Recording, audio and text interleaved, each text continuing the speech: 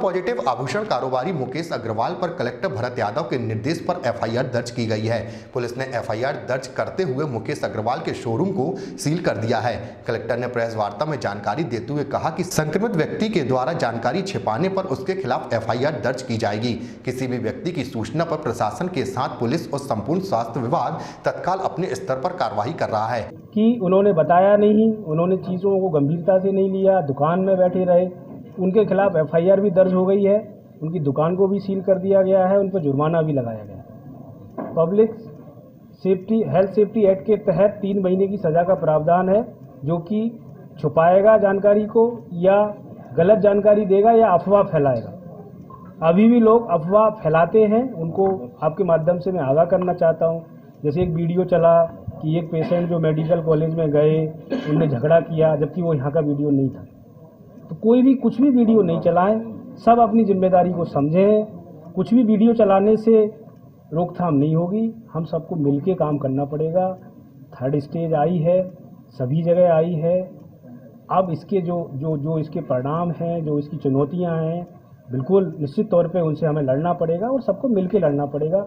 सबको अपने अपने हिस्से का काम करना पड़ेगा तैयारी हमारी पूरी। क्या कहती है सर ये देखिए इस एफ़ आई आर में हमने सेक्शन 188 और 270 में F I R Mukesh Agrawal के खिलाफ दर्ज की है। मुकेश अग्रवाल दुबई गए थे दुबई ट्रिप से लौटे थे। जब इनकी स्क्रीनिंग हुई थी उस समय ये निगेटिव पाए गए थे।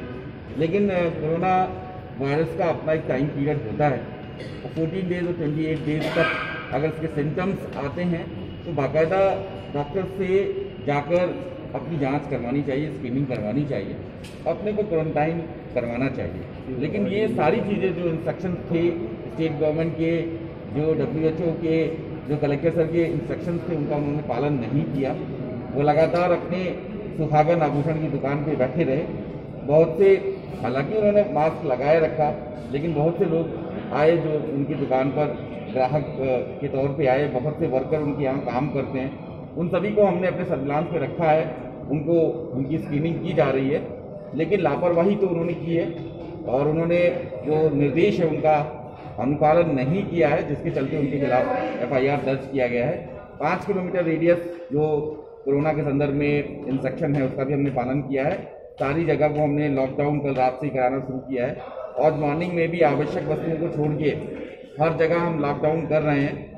कोरोना का जो सबसे बड़ा बचाव है, कोरोना के चक्र को तोड़ना। और इस चक्र को हम तभी तोड़ सकते हैं जब हम अपने को घर में सीमित रखें। इसी को मद्देनजर रखते हुए हमने लॉकडाउन स्टार्ट किया है, जो आगामी फोर्टी एट आवर्स तक हम रखेंगे और प्रयास करेंगे कि जबलपुर में इसका फैलाव जो है, उसको रोका जाए, चार से ज़्यादा